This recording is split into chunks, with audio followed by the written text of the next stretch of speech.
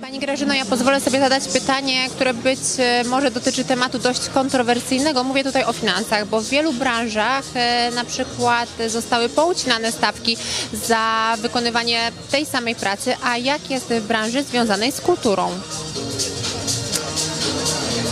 To znaczy wiem, że e, producenci, przynajmniej teatralni, na pewno rozważają tę możliwość.